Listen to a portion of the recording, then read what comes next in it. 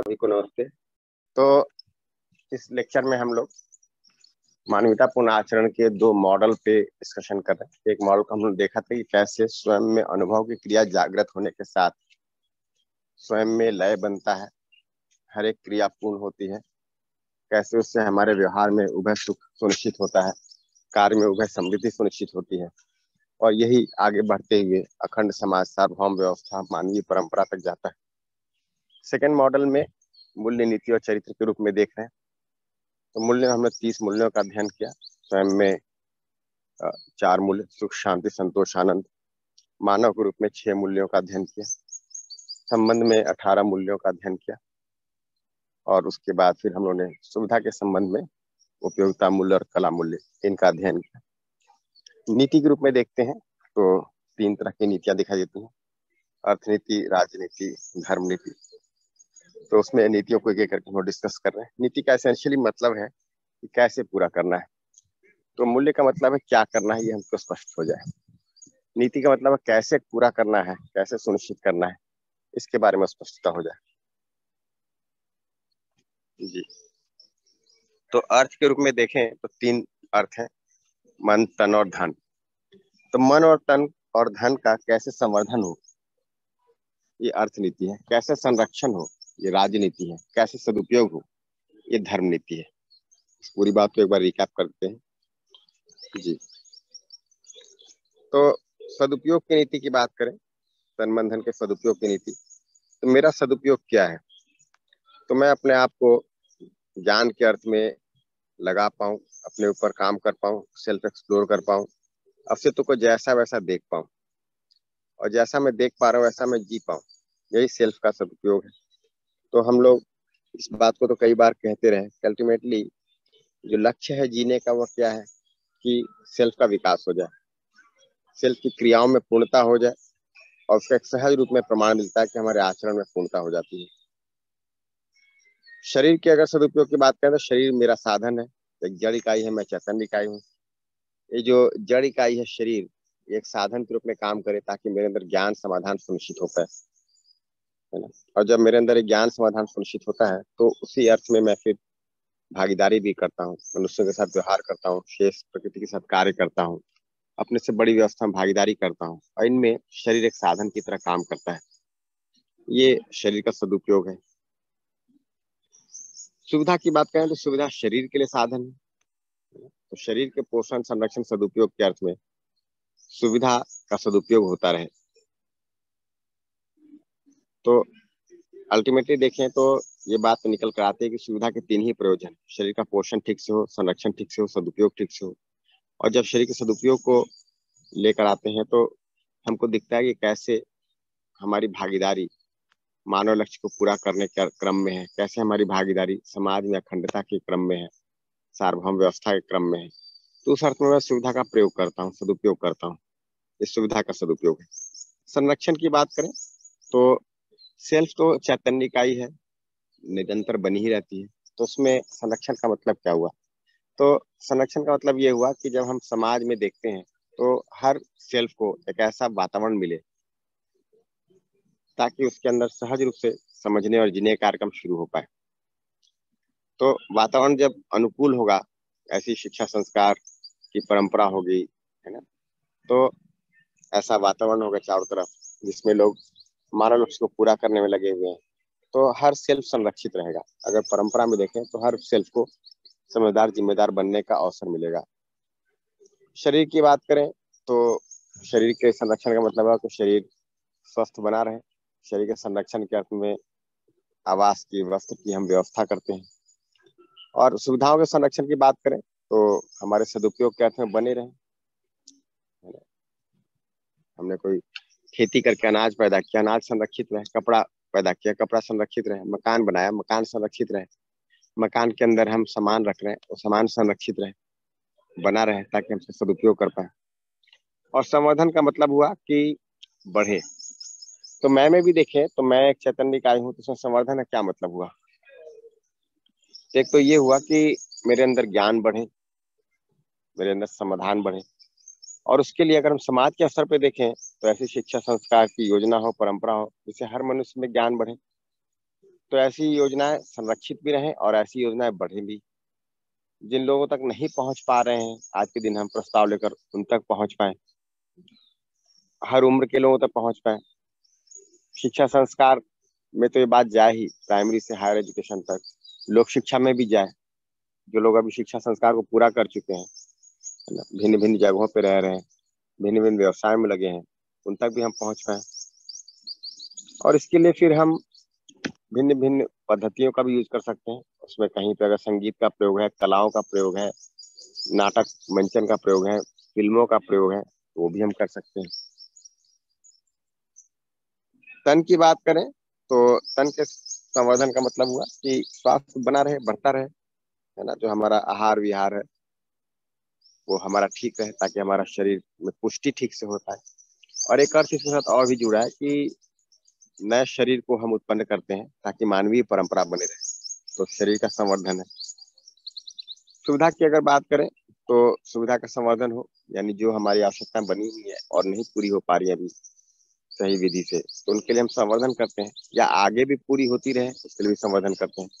और शरीर की आवश्यकताओं को बारंबारता से पूरा करने के लिए सुविधाओं के संवर्धन की ज़रूरत तो है ही। तो हम ये नीतियाँ अपने स्तर पे भी बनाते हैं। इसको कनेक्ट करके देखिए तो हम अपने आप में भी ये सब काम कर रहे होते हैं। तो हम, हमारी समझ बढ़े इसलिए हमने वर्कशॉप किया। जो हमने समझ लिया है, उसमें और क्लैरिटी हो जाए, या हमने जो सुन लिया है, उसमें और क्लैरिटी हो जाए, और ठीक से हम उसमें अपने आप को स्पष्ट कर पाए। तो उसके लिए हम बहुत सारे सेशन अटेंड करते हैं। अभी ये मॉर्निंग सेशन भी हम अटेंड कर रहे हैं। हम मीटिंग्स अटेंड करते हैं। हम टीम वर्क करते हैं कि नहीं? और इसको हम और भी देखते हैं कि कैसे ये परिवार के दूसरे सदस्यों में भी जाए। तो हम अपने आप में अगर रिलेट करके देखें तो हम अपने आप में भी कैसे इनकी नीतियाँ बना रहे होते हैं, ये देखने की बात है। संवर्धन की, संरक्षण की, सदुपयोग की। परिवार में कैसे ये नीतियाँ बना रहे होते हैं? तन की हो, मन की हो, धन की हो वैसे समाज के लिए कैसे नीतियाँ बना रहे होते हैं?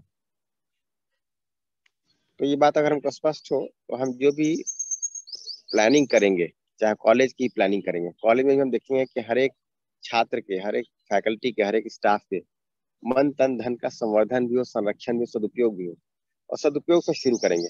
ऑलरेडी जो कुछ है, उसकी क्लैरिटी हो। ऑलरेडी जो कुछ है, उसका सदुपयोग हम कर पाए। फिर उसमें सदुपयोग करके हम संरक्षण कर पाए और जहाँ संवर्धन की संभावना वहाँ संवर्धन भी कर पाए। जी। भैया नेक्स्ट स्लाइड लगाइएगा।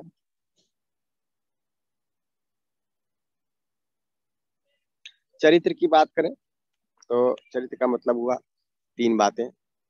कि दयापूर्ण कार्य व्यवहार हो हमारा, स्वधन में हम जिए और स्व नारी स्व पुरुष का निर्वाह करें। तो दयापूर्ण कार्य व्यवहार की बात करें तो अल्टीमेटली जो हम व्यवहार कर रहे हैं जो हम कार्य कर रहे हैं, जो हम भागीदारी कर रहे हैं, वो इस प्रकार से है कि हो कि मानव लक्ष्य की पूर्ति हो। तो हम व्यवहार कर रहे हैं, हमारे व्यवहार में न्याय हो, उभय सुख सुनिश्चित हो। और जो हमने पहले गलतियाँ की हैं, हम उसको भी सुधारने का प्रयास करते हैं। और हम सब गलतियाँ करते ही हैं, जब तक हमारे में ज्ञान की पूर्णता ना हो जाए, हम गलतियाँ करते रहते हैं।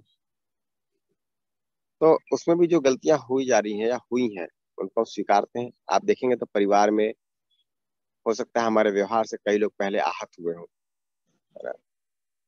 कई संबंधों में दुष्प्रभाव पड़ा हो, किसी न किसी प्रकार से नुकसान हुआ हो।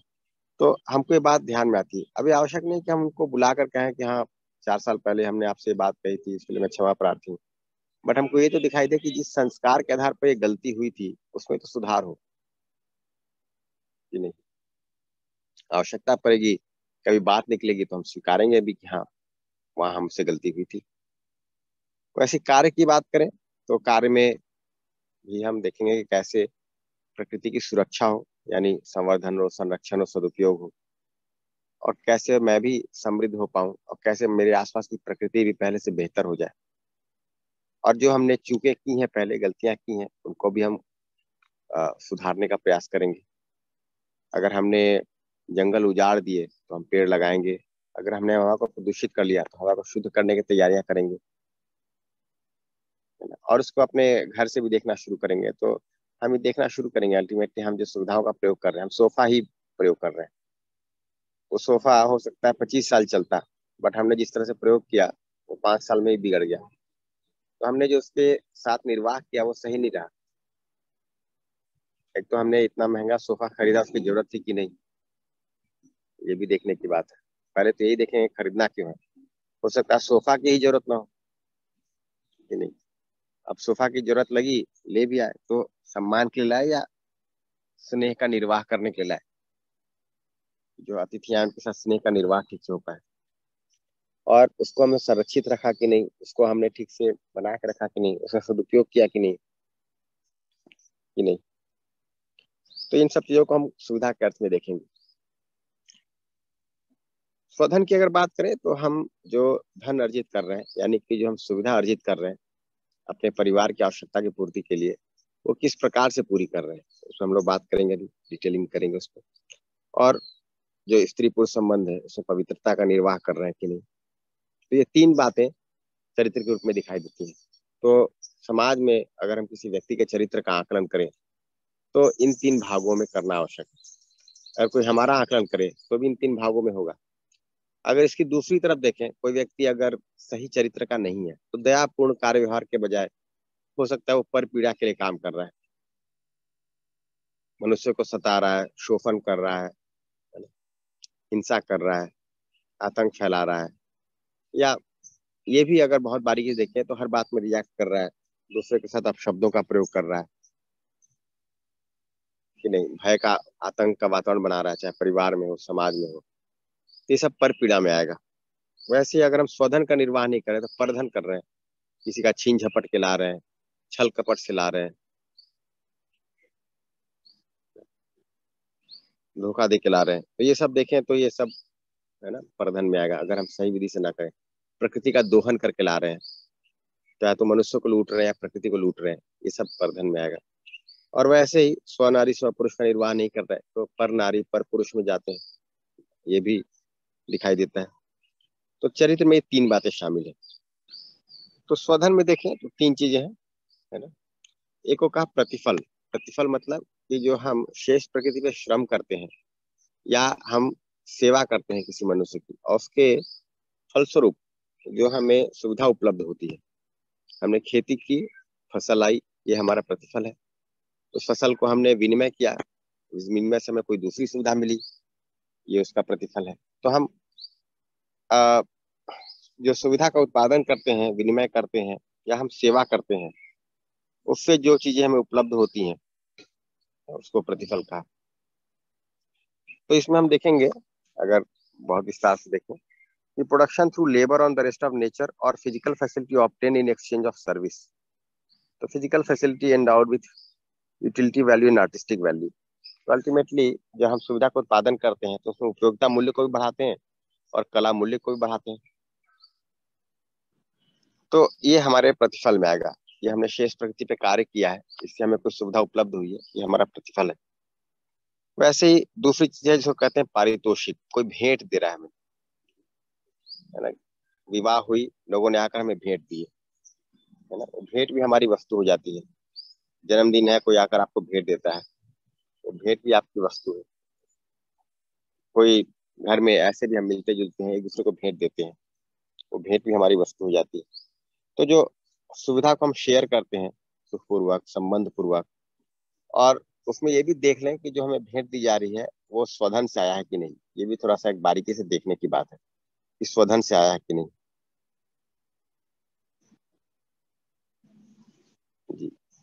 सेवा को लेकर कुछ प्रश्न है उसको मैं रख देता हूँ।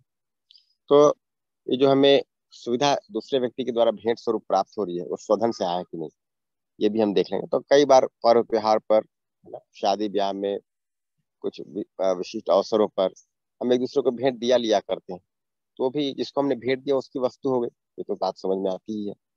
तीसरा पुरस्कार पुरस्कार का मतलब हुआ कि हमने कोई सार्थक कार्य किया, हमने मानव लक्ष्य की पूर्ति में कोई अर्थ में कार्य किया तो समाज प्रसन्नता पूर्वक हमें कोई पुरस्कार देता है।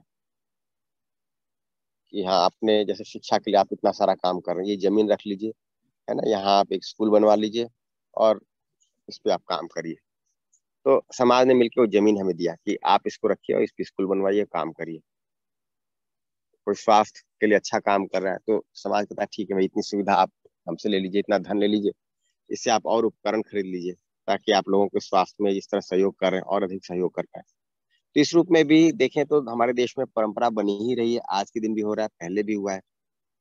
कोई पुस्तक छाप रहा है समाज में ज्ञान के सुनिश्चित करने के लिए। तो हम उसे भी, है ना, भेंट स्वरूप कहें या पुरस्कार स्वरूप बहुत सारी सुविधाएँ उपलब्ध कराते हैं कि हाँ अच्छा काम हो रहा है, आप इसको बनाए रखिए। तो पुरस्कार मिलता है समाज से हमें। इससे दूसरों को प्रोत्साहन भी मिलता है। तो ये तीन जो चीज़ें हैं स्वधन में आते हैं। प्रतिफल, पारितोषिक और पुरस्कार। जी। इसमें एक प्रश्न था कि सेवा को और स्पष्ट करें। तो जो शेष प्रकृति पे कार्य कर रहे हैं, वो तो आपके उत्पादन में जुड़ेगा या कार्य में जुड़ेगा। बट यदि हम मनुष्य के शरीर पे कोई कार्य करें, कोई हमारे शरीर की मालिश कर रहा है तो हम कहते हैं, ठीक भाई, तुमने ना, घंटे भर मालिश किया, इसके एवज में आपको इतना धन दिया जाता है। आपने हमारा बाल काटा, इसके एवज में हमने आपको, है ना, ये पैसे दिए। तो इस तरह की चीज़ें भी हमें आवश्यक होती हैं। स्वास्थ्य के अर्थ में हम सेवा लेते भी हैं। तो ये सब चीज़ें भी जाकर सेवा में जुड़ती हैं। जी। नमस्ते। नमस्ते। सर आपने तो बहुत ही शुरू से लेकर आखिर तक इतना ब्रीफली और इतने अच्छे तरीके से एक्सप्लेन करा कि बहुत ही अच्छा लगा। और इसमें मेरा एक ये क्वेश्चन है कि जैसे आज जो समाज में मानव व्यवहार के प्रति जो व्यवस्था है, वो थोड़ी सी इतनी सही नहीं है, जिसमें सबसे पहले जो एक कहा जाता है कि स्त्री प्राय धन उसको हम लेके आते हैं तो वहीं से स्टार्ट हो जाता है टोका टाके करनी। और उसमें समाज में वहाँ से रिलेशंस खराब होने लग जाते हैं और घर टूटने लग जाते हैं।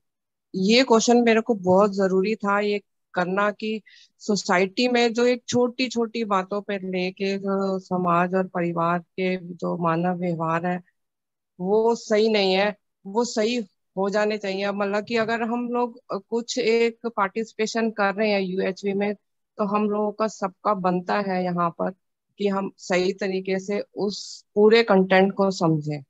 तो हमारा सबका अपना ही फ़ायदा है तो हम लोग क्यों नहीं ये इसका पार्टिसिपेशन कर पा रहे यूएसबी में कुछ लोगों से जब मैंने फ़ोन पे बात करी तो ऐसे ठीक नहीं लगा मेरे को भी कि कंटेंट अगर आप समझ रहे हैं तो उसको पूरी प्रॉपर तरीके से समझना चाहिए। कुछ लोग कह रहे हैं कि ये आर्ट है और ये, पर जब तक हम उसको जी के नहीं देखेंगे, तब तक हमें इस कंटेंट का बिल्कुल क्लैरिफिकेशन नहीं हो पाएगा और फैमिली रिलेशंस ऐसे ही सही नहीं हो पाएँगे। तो मेरा ये क्वेश्चन है कि ये प्लीज़ ये क्यों नहीं कर पा रहे ये लोग? पार्टिसिपेशन सही तरीके से यूएचए में। ठीक है ना देखिए अभी हमें उसका महत्व तो दिख रहा है आवश्यकता दिख रही है तो हम कर रहे हैं। अभी उनका आवश्यकता नहीं दिख बहुत बहुत दिख रहा है कि बहुत ज़रूरत है पर लोग ये ज़रूरत भी नहीं समझ पा रहे भाई उनका कॉन्शियस सेल्फ में वो भी अलाउ नहीं कर रहा कि हाँ चल हम लोग उनके फ़ायदे के लिए ही है ये सब कुछ और फिर भी वो ये समझ नहीं पा रहे। क्यों? पता नहीं। जी जी। तो देखिए हम सबको समय लगता है है ना? हम सबका कभी किसी अवसर पर ध्यान जाता है फिर उस पर हम मन लगाते हैं तो बात समझ में आती है। तो ये तो स्थिति रहेगी। तो ये तो अपने को दिखता है कि इतना अच्छा सुबह अभी समझाया ये चर्चा में वाकई में बहुत अच्छा है कि एक एक चीज़ को हम लोग समझ रहे हैं और उसको जीव, जीवन में लाके उसका निर्वाह कर रहे हैं और उसका फल परिणाम वाकई में मेरे लिए मेरे को तो ऐसा लग रहा है कि बहुत अच्छा है अगर लोगों को नहीं लग रहा और दूसरे लोगों को नहीं लग रहा, ये मैं भी समझ नहीं पा मेरा मैं भी समझ नहीं पा रही। बढ़िया बढ़िया दीदी। तो हम इसमें लगे रहें, हम अपने लिए प्रयास करें कि हम अनुभव तक पहुँचे। और देखिए अल्टीमेटली हर मानव की सह स्वीकृति यही है। अभी हो सकता है कि किसी कारणवश प्रायोरिटी नहीं बन पा रही है, ध्यान नहीं जा पा रहा। ध्यान देंगे तो फिर समझ में आएगा। ये हमें भी ऐसे आता अगले को भी ऐसे आएगा। हर मनुष्य का कार्यक्रम वही है। ये हमको दिखाई दे। तो समय हम सबको अलग अलग ढंग से लगता है। प्रायोरिटी हमारी अलग अलग ढंग से बनती है। ये तो होता ही है। जी। धन्यवाद सर। नमस्ते सभी को। ये दो चीज़ में थोड़ा सा ये है। एक यूटिलिटी वैल्यू और आर्टिस्टिक वैल्यू आपने बताया। यूटिलिटी तो बिल्कुल एकदम समझ गई है। लेकिन क्या हम हमारा जो मैनेजरियल स्किल्स जो हम यूज़ करते हैं समाज में या जहाँ भी हम करते हैं उसको हम आर्टिस्टिक वैल्यू बोल सकते हैं भैया? प्लीज़ इसके ऊपर डिस्कस करेंगे। आर्टिस्टिक वैल्यू का मतलब तो ये हुआ कि किसी सुविधा के सदुपयोग को बढ़ाने के लिए हम जो अलग से उसमें स्किल्स यूज़ करते हैं उसके आधार में देखें तो आर्टिस्टिक वैल्यू है। जैसे कपड़े का सदुपयोग बढ़ जाए कपड़े ज़्यादा समय तक बना रहे उसको पहनने ओढ़ने है ना? रखने में हमको सुविधा हो। तो हम उसमें कुछ ना कुछ अलग से उपाय करते हैं उसमें विचार लगाते हैं अपना जिससे उसकी उपयोगिता और बढ़ जाती है।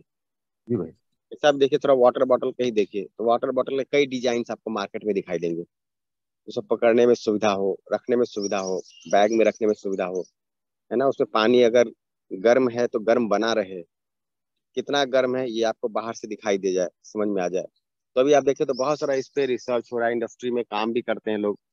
कि कैसे उसकी उपयोगिता और बढ़ जाए जिसको अभी कर रहे हैं ना यूज़र एक्सपीरियंस बढ़ जाए यूज़र एक्सपीरियंस और अच्छा हो जाए हम जब प्रयोग कर रहे हैं तो उसकी उपयोगिता और बढ़ जाए।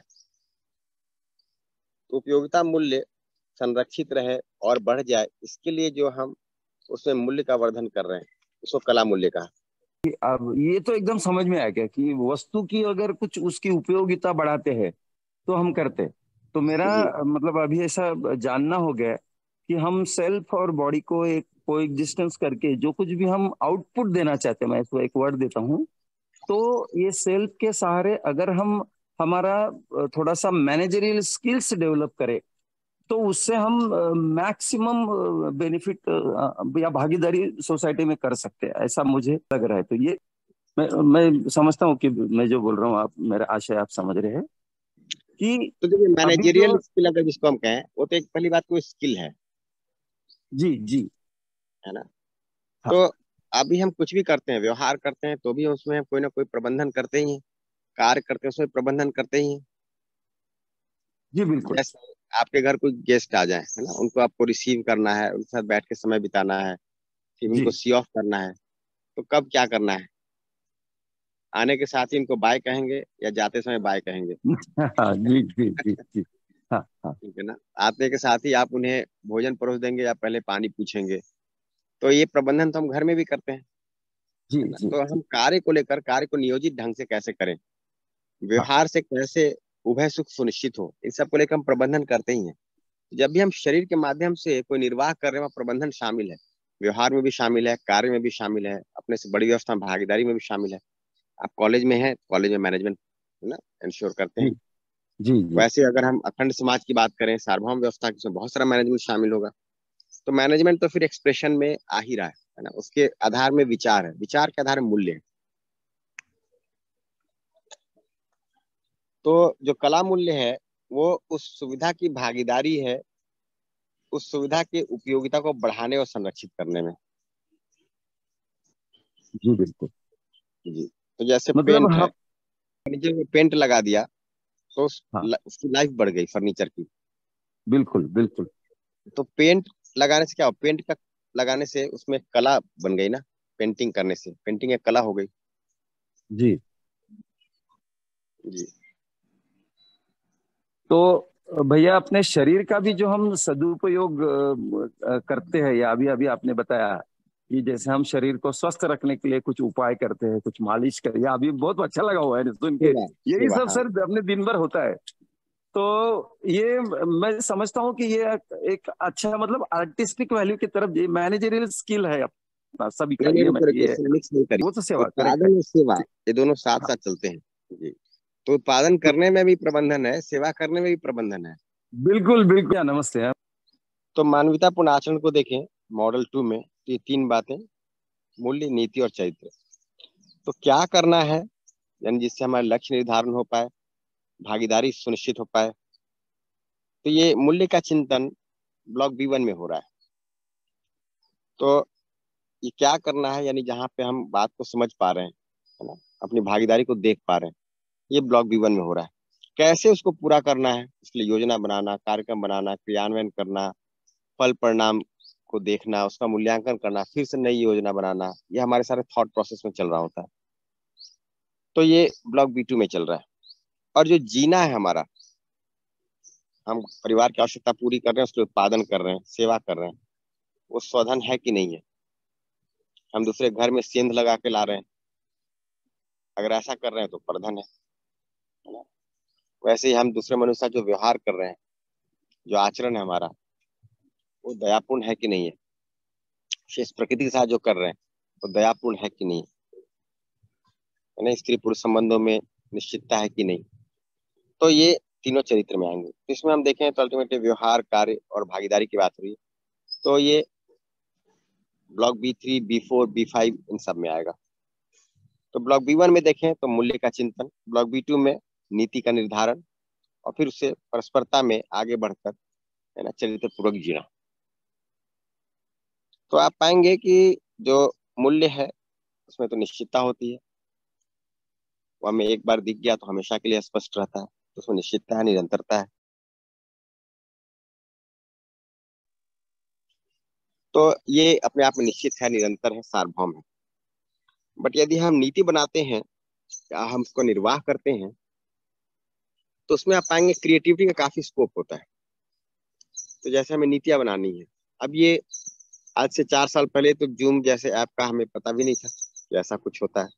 भले ये इजाद हो चुका था बट पता नहीं था। तो एक नीति बनी कि चलो, अगर हम लोग पैंडेमिक में एक दूसरे से मिल नहीं पा रहे, हम वर्कशॉप मिल के नहीं कर पा रहे तो क्यों ना ऑनलाइन शुरू किया जाए?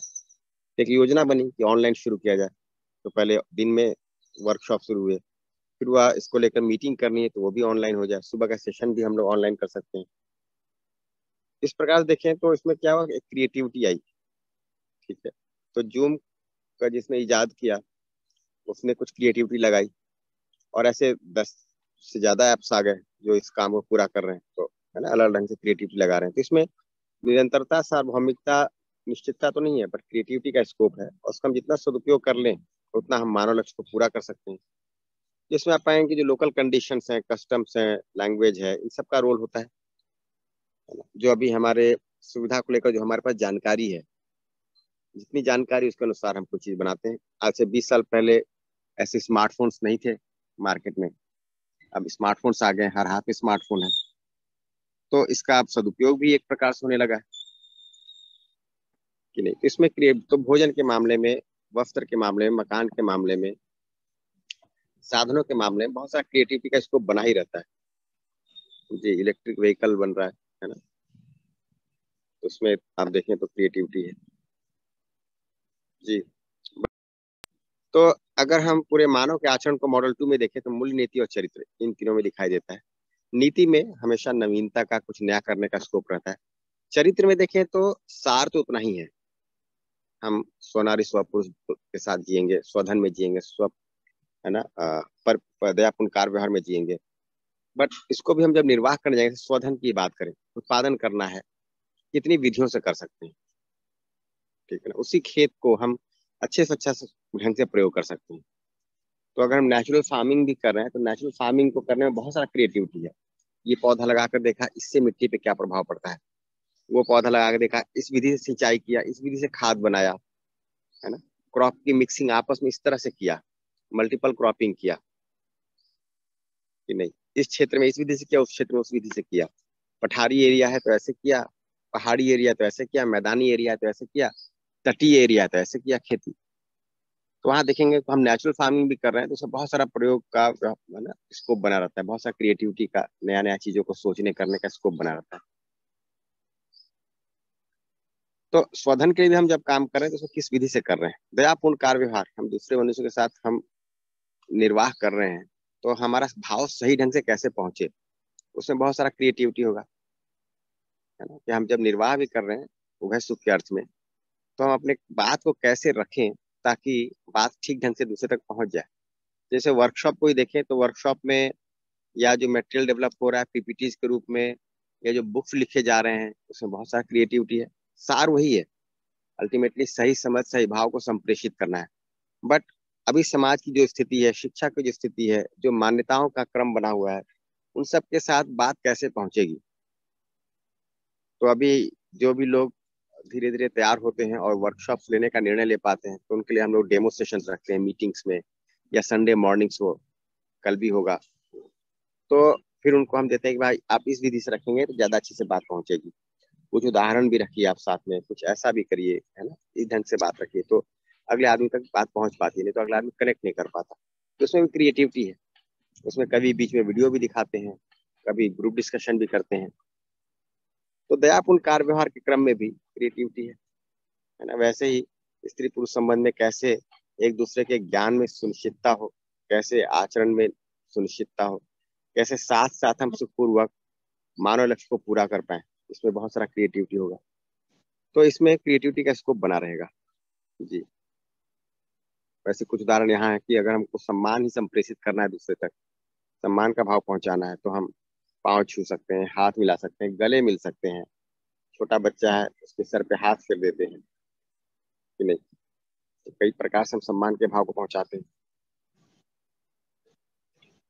तो जो जीने से जुड़े मुद्दे हैं ना, इससे हमको अपने मूल्यांकन के लिए बहुत सारे मापदंड मिलते हैं, कि हम देखें कि हमारे आचरण में ऐसा है कि नहीं।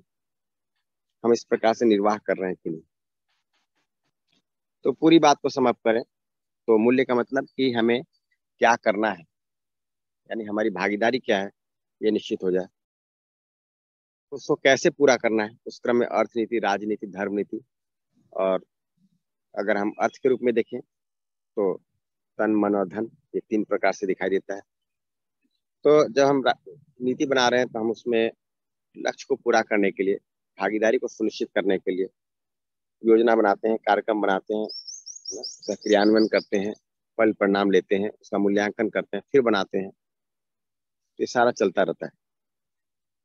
और चरित्र के रूप में देखें तो ये बात हुई तो व्यापूर्ण कार्य व्यवहार सुनिश्चित हो, स्वधन और स्वनारी स्वपुरुष सुनिश्चित हो। तो ये जो दूसरा मॉडल निकल कर आता है, इसमें आप देखें पहले मॉडल में हमने स्वयं के विकास को, स्वयं में क्रियाओं की पूर्णता को ध्यान में रख पूरी बात की। और इस मॉडल में जो एक्सप्रेशन में जा रहा है, उसको भी ध्यान में रखा और उसके आधार पर हमने पूरी चर्चा की। जी। नमस्ते भैया। नमस्ते। भैया इस प्रपोजल में हम जो कला को ले रहे हैं वो उपयोगिता को बढ़ाने की दृष्टि से ले रहे हैं। लेकिन जैसे हम देखते हैं कि कला में जो प्रचलित प्रचलित जो है वो उसमें जैसे पेंटिंग्स हैं बहुत बड़ी बड़ी पेंटिंग्स बनती हैं और बहुत सारा इस पे काम हो रहा है। पहले भी हुआ है अभी भी हो रहा है। तो ये फिर कला के कला में नहीं जाएगा क्योंकि उपयोगिता तो कुछ नहीं बढ़ती उससे। घर में हमने लगा दिया अच्छा लग रहा है डेकोरेशन है। आप पेंटिंग ऐसी बनाइए जिससे प्रकृति की व्यवस्था दिखाई दे अखंड समाज का स्वरूप दिखाई दे। हाँ नहीं वो तो ठीक है लेकिन जो चल रहा है फिर उसमें तो भैया बहुत सारा तो केवल दिखावे के लिए या अच्छा लगेगा। बड़ी बड़ी पेंटिंग्स लाखों में बिकती हैं उससे की पेंटिंग्स बनती हैं। और हम देखते हैं इसमें तो उसकी उपयोगिता नहीं है तो फिर कला क्या है उसमें? कला हाँ जैसे हम पिकासो की बात करें वन गो की बात करें तो इन सब की जो पेंटिंग्स हैं लाखों करोड़ों में बिकती है। उपयोगिता उसकी कुछ है नहीं। जी। तो वो फिर कला में नहीं जाए क्योंकि अभी कला के नाम पे यही है पूरा। हाँ, अभी कला का दुरुपयोग तो हो रहा है वो तो ठीक बात है उसका सदुपयोग सुनिश्चित करेंगे। तो स्कोप तो है है ना? जी। तो कला के माध्यम से हम मानव लक्ष्य की पूर्ति के लिए काम करेंगे। तो हम ऐसे पेंटिंग बनाएँगे ऐसे मूवी बनाएँगे ऐसे सॉन्ग्स बनाएँगे ऐसे पोएम्स बनाएँगे ऐसे बुक्स लिखेंगे ऐसे ड्रामा इनेक्ट करेंगे कि नहीं? ऐसे हाँ. अभ्यास तैयार करेंगे। हाँ फिर वो ज्ञान ज्ञान को आधार में रखते हुए ही सारा काम होगा। ज्ञान समाधान को आधार में रखते हुए होगा तो उसी को हम यहाँ पे कला बोल रहे हाँ। ठीक। इसलिए मूल्य आधार में है। भैया, एक प्रश्न और था, जो मेरे स्टूडेंट ने किया था। मैंने वैसे रिप्लाई तो किया था, पर आपसे और क्लियरिटी चाहिए थी कि जो हम स्वधन की बात कर रहे हैं तो हम जो अर्जित कर रहे हैं वो तो ठीक है, लेकिन हमारे फोर फादर्स से या हमारे पेरेंट्स से जो आ रहा है, अब वो कैसे अर्जित किया हुआ है, लेकिन हमारे पास तो आ रहा है तो वो स्वधन में ही जाएगा। जी तो उसमें जो बात हुई ना कि जो भेंट हमें मिलती है तो हमें अपने फोर फादर से भेंट मिली। अब वो भेंट भी हम देखेंगे कि वो सही विधि से अर्जित है कि नहीं। हो सकता है कि हमारे फोर फादर्स ने है ना मजदूरों का किसानों का ज़मीन हड़प कर अपना बना लिया।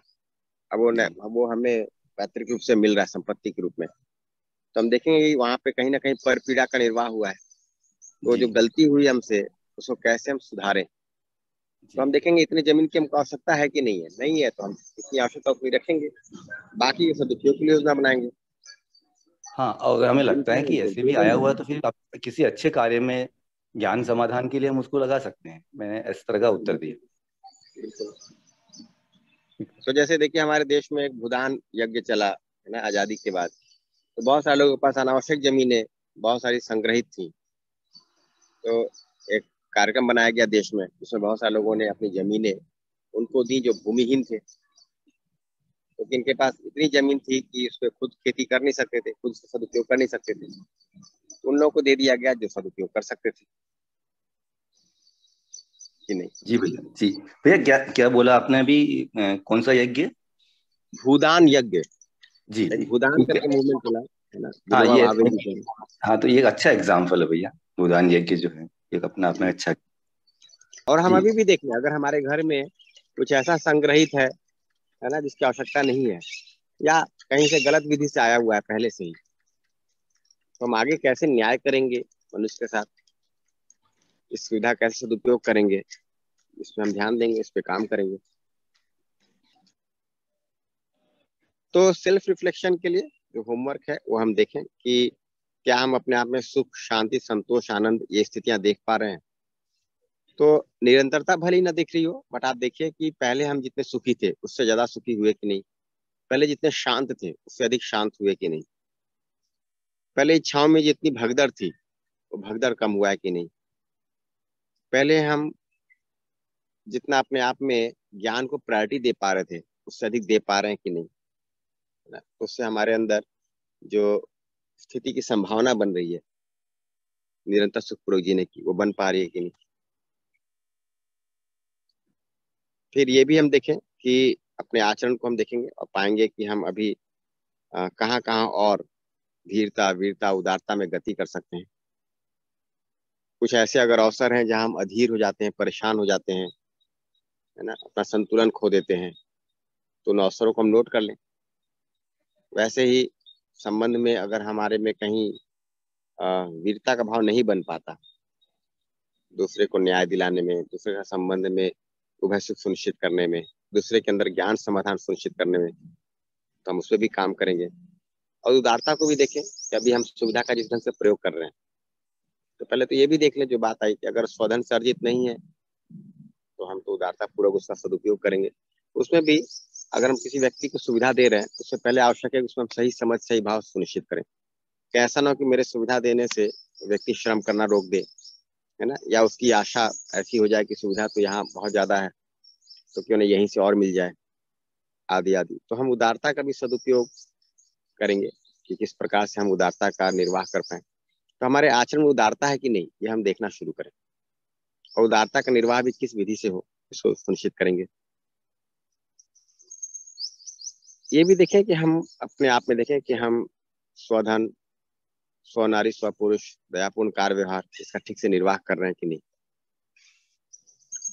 ना?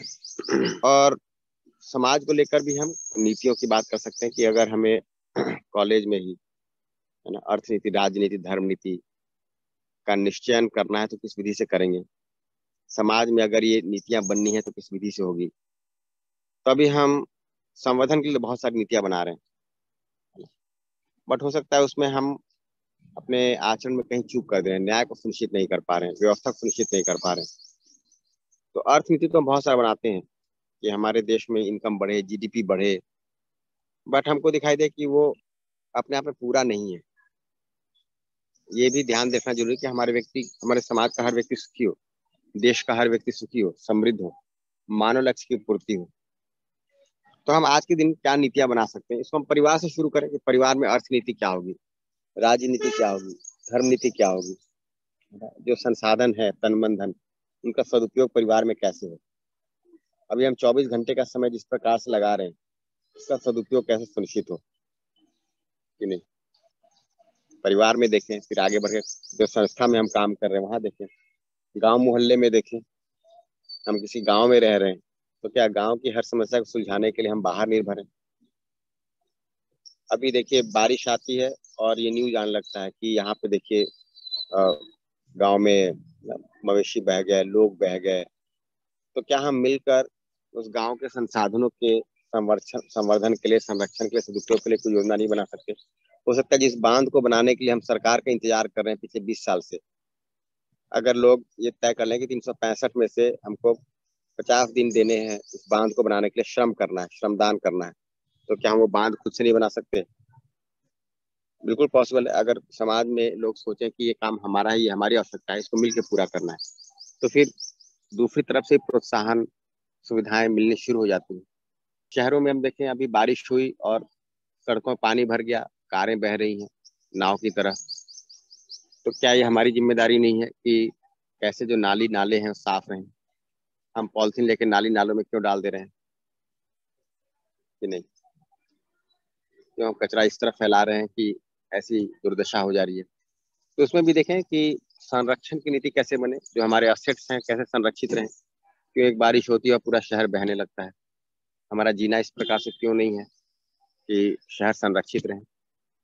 अभी हम शहर में मकान तो धीरे धीरे बनाते जा रहे हैं बट जल स्तर हो सकता है संरक्षित ना हो, हवा में शुद्धता संरक्षित ना हो उसके लिए क्या नीति बना सकते हैं? और सदुपयोग का समय। अगर हम अगर इसको थोड़ा ठीक से देखा जाए तो इतने कॉलोनीज बन गए हैं शहरों में, उसमें आप थोड़ा आर्टिकुलेट करिए कि हर घर में एक व्यक्ति औसतन कितना समय दुरुपयोग कर रहा है हर दिन। उस समय को अगर हम सदुपयोग के अर्थ में लगाएँ, हम कहीं कम्युनिटी हॉल होता है कॉलोनी में, वहाँ बैठकर वीकेंड पे, छुट्टी के दिनों में हम वर्कशॉप शुरू करते हैं।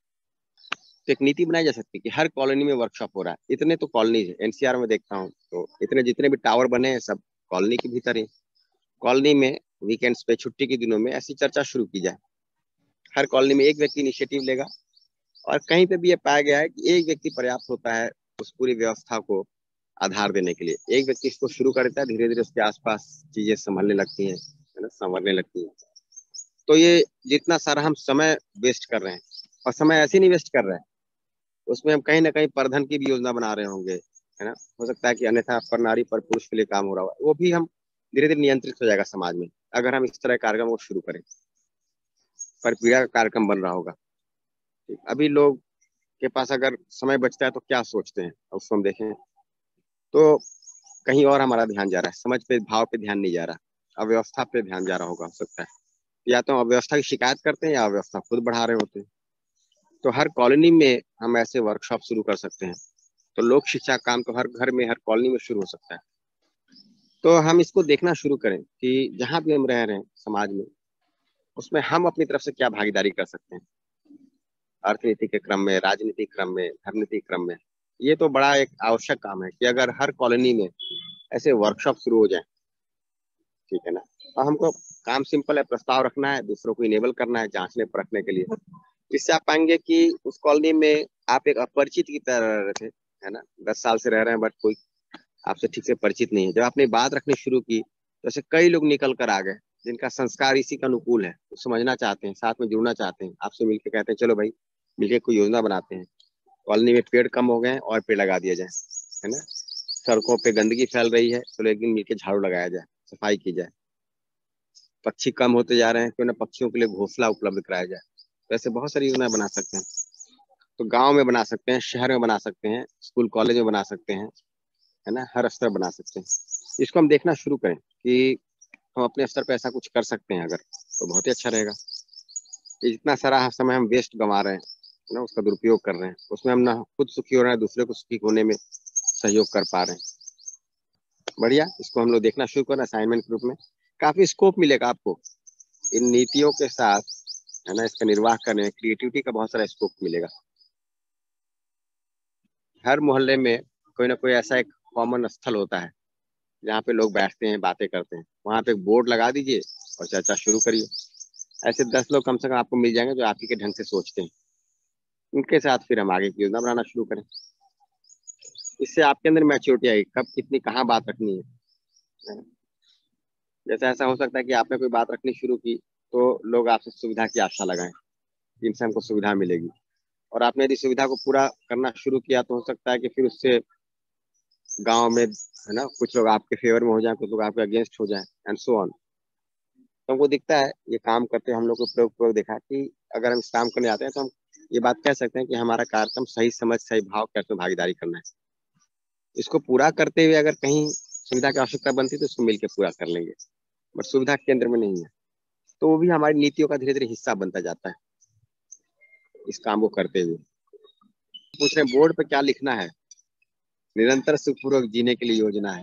निरंतर सुखपूर्वक जीने के क्रम में ज्ञान समाधान ऐसा लिख दीजिए। हाँ यूएचवी लिख दीजिए। बढ़िया जी। नमस्ते भैया। नमस्ते।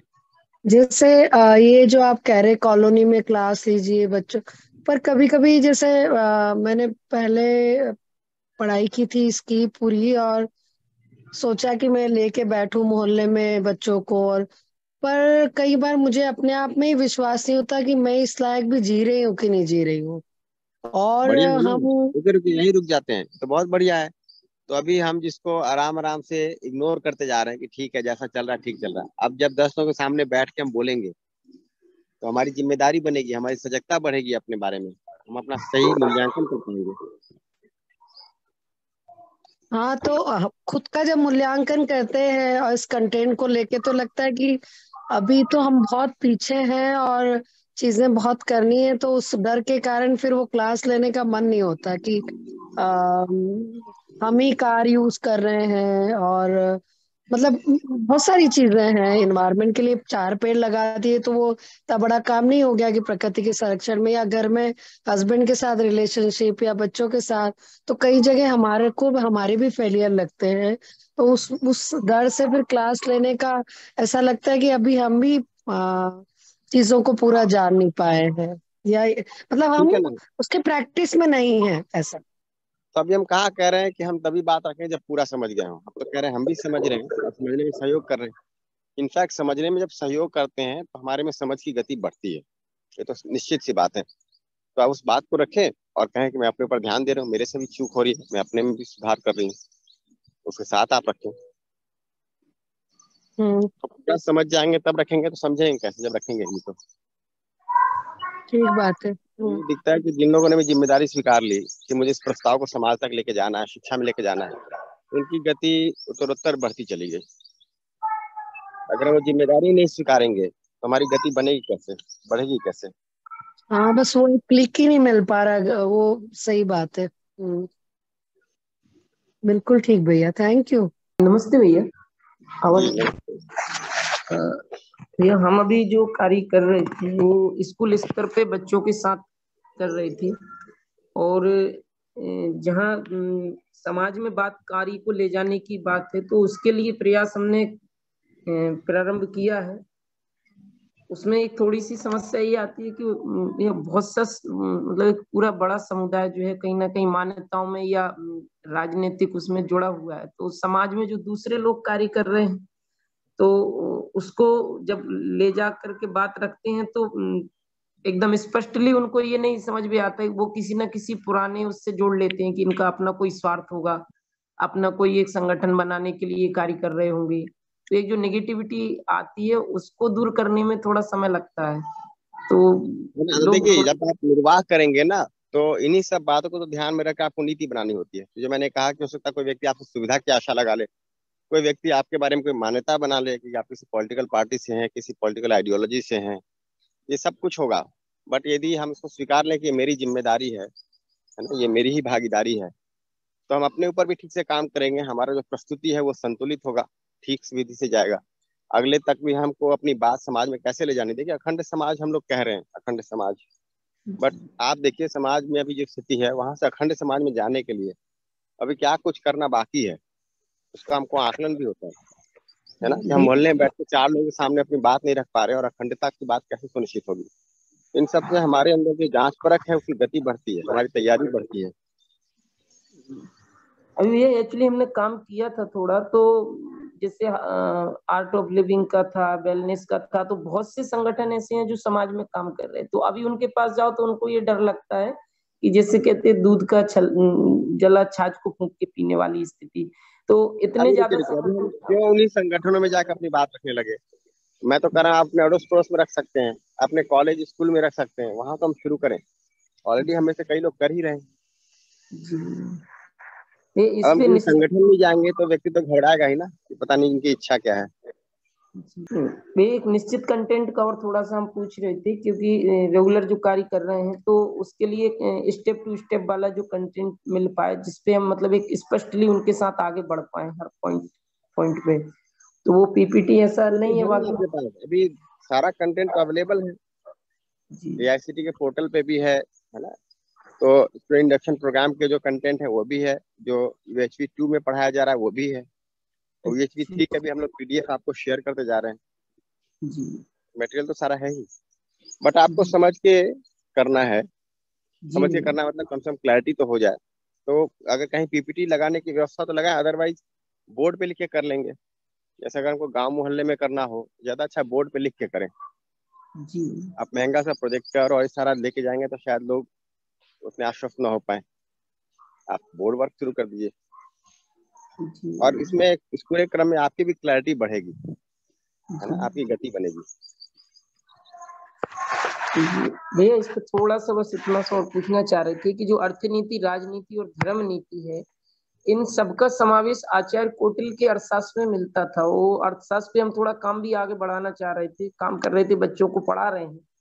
तो उसमें बहुत सी चीज़ें मतलब पूरा कोरिलेटेड करके देखते हैं तो अर्थशास्त्र एक ऐसा उस वो वाला सब्जेक्ट उस समय का ऐसा था कि यही गलती शुरू हो गई ना रुके अब अब हम एक काम को लेके चले और हमने दूसरे काम को मिक्स कर दिया। अब हमको खुद ही में क्लैरिटी नहीं होगी फिर लोग क्रॉस क्वेश्चनिंग करेंगे तो हमारे पास प्रश्नों का उत्तर नहीं होगा। फिर हम जस्टिफाई करने लगते हैं तो बात जो कही जा रही है उसको हम शुद्ध रूप में कैसे पहुंचाएँ दूसरों तक? पहले तो वो तैयारी अपने में होनी है। तभी यूएचबी की बात हो रही है। अब कौटिल्य के अर्थशास्त्र को साथ में जोड़ लें इसमें। और फिर हम स्थापित करना शुरू करें कि दोनों एक एक न हो। संभावना तो है ही। तो हमें अभी खुद ही क्लैरिटी अगर नहीं है तो पहले उसको क्लैरिफाई करें अपने आप में। इस बात को समझना आपकी जो स्थिति है जितना कॉम्पिटेंस को स्वीकार लें उसके साथ रखें। बट अगर हम प्रस्ताव को ही मिक्स कर देंगे तो फिर क्या पहुंचेगा बहुत निश्चित नहीं है दूसरे तक। जी जी। नमस्ते भैया। भैया मैं एक ईमानदारी से एक बात रखता हूँ। तीन चार दिनों से सुन रहा हूँ और सभी औरतें जो हैं अपने खुल के बात कर रहे हैं कि वो नहीं हो पा रहे और मतलब ज़्यादातर देखने को मिला है या सुनने को मिला है। तो आपने भी जो अभी प्रस्ताव के रूप में रखा कि मोहल्ले में या कम्युनिटी में या सेल्फ की बात जो की, लेकिन मेरी परेशानी फैमिली में जो मान्यताएँ मान्यताएँ नहीं बोलूँगा। जो, क्या बोलते हैं, जो प्रीवियस संस्कार बोलो या हमारे से हुए गलतियाँ बोलो या जो कुछ भी हमारे में है, जो हम खुद की फैमिली में ये नहीं कर पा रहे हैं और खुद में नहीं कर पा रहे हैं। बाहर वालों को करना तो दूर दूर की बातें हैं। तो हम फैमिली वालों को कैसे समझाएँ, वो थोड़ा बता दीजिएगा। देखिए, पहली बात तो कि जो समझने को तत्पर है, वहाँ से शुरू करें। तो फैमिली में आप एक बार प्रस्ताव रख दीजिए। अगर लोगों को उत्साह बनता है, बहुत अच्छी बात है। लेकिन उनको समय दीजिए और जो समझने के लिए पहले से तत्पर है, उनके साथ समय लगाएँ। तो परिवार पे और समाज पे एक साथ काम हो सकता है। ऐसा नहीं कि परिवार पे काम पूरा होगा तो समाज पे शुरू करेंगे। तो अगर परिवार में कोई अभी तत्पर नहीं है सुनने के लिए, कोई बात उनको समय दे दीजिए। है ना? आप समाज के साथ समय लगाइए। बट कोई नहीं होगा, ये तभी हो सकता है जब हमारा आचरण पहले से उनके साथ ठीक ना रहा हो। नहीं तो सही को कोई क्यों अस्वीकार करेगा? हम तो अगले व्यक्ति के सुख समृद्धि के अर्थ में ही प्रस्ताव रख रहे हैं। अगला सुखी होना ही चाहता है, समृद्ध होना ही चाहता है। कुछ मान्यता हो सकती है फंसी हो, बट यदि हमारा व्यवहार ठीक है तो अगला क्यों नहीं सुनना चाहेगा? व्यवहार तक बात रखने में जो ये कठिनाई आती है कि आप पहले से ऐसे थे सालों से तो अभी आपकी क्यों सुने? वो बात जो क्यों वाली बात जब आ जाती है, वो उससे ऊपर उठने की जो बात करने की जो धीरज उठाना है, वो थोड़ा मुश्किल लगता है। उसको कैसे, क्योंकि रिश्ते की बुनियाद बोलिए या रिश्ते की शुरुआत बोलिए, वैसा नहीं होती है। लेकिन जब रिश्ते में थोड़े साल बिताते हैं, उसके बाद में जो उसके ऊपर जो भी प्री कंडीशनिंग हो जाती है, ऐसा ही है, ऐसी है बोल के उसके ऊपर से उठ के कुछ करना बोले तो थोड़ा फ्रिक्शन ज़्यादा ही रहता है। ऐसा नहीं है कि एक छोटी कहानी के जैसा हो जाती है। तो वो फ्रिक्शन से ऊपर उठने के लिए हमें तो धीरता धीरता दिखानी पड़ेगी लेकिन वो शुरू कहाँ से करें? मतलब ये तो बोर्ड लगाने की बात जो अजय भैया ये कोई तो भी पूछ लिए कि बोर्ड तो कहाँ से लगाए या क्या लगाए तो उसी शुरुआत की कैसे करें उसकी आपसे थोड़ी अपेक्षा परिवार में देखिए शुरुआत तो स्वयं से होना है। कि पहले हम अपने अंदर काम निष्ठा पूर्वक करें, ताकि हमारे अंदर समाधान हो, हमारे अंदर ज्ञान सुनिश्चित हो, हम अपने अंदर जाँच पर ठीक से कर पाए आपका मूल्यांकन ठीक से कर पाए। जो प्रस्ताव सुनने को मिला है, वो हमको स्पष्ट हो। पहला काम तो यही है। ये काम ठीक से करेंगे तो बाकी कामों के लिए रास्ता खुलता चला जाएगा। जो परिवार में भागीदारी करनी वो हम ठीक से कर रहे हैं कि नहीं? है ना? इसको भी हम देखें। श्रम में जो भागीदारी होनी है, सुविधा की उपलब्धता में जो भागीदारी होनी है व्यवहार में जो भागीदारी होनी है, वो हम ठीक से कर रहे हैं कि नहीं? तो दूसरा काम ये है कि हम वो भागीदारी को भी देखें, ठीक से हम कर रहे हैं कि नहीं। तो सहज रूप से दूसरा व्यक्ति फिर हमसे तत्पर होता ही है। और परिवार का मतलब अभी इसका वो चार छह लोग हैं। फिर आप परिवार में कुंबे को भी देखिए, और अधिक लोग हैं। उसमें कोई इंटरेस्टेड होते हैं समझने, सुनने के लिए। और आगे देखेंगे, है ना, आप मोहल्ले में, गाँव में रखना बात शुरू करें, वहाँ भी लोग इंटरेस्टेड होते हैं। कॉलोनी में रखना शुरू करें। तो पहले तो हम अपने ऊपर काम करें ठीक से। तो दोनों ही बातें हैं। एक तो ये नहीं कि हमारे में ज्ञान की पूर्णता होगी तो संवाद करेंगे ऐसा नहीं है। बट संवाद भी जब कर रहे हैं तो फोकल पॉइंट हमारा स्वयं है कि मेरे में समाधान है कि नहीं मुझे स्पष्ट है कि नहीं उसको सुनिश्चित करेंगे। थैंक यू भैया एक धन्यवाद भैया।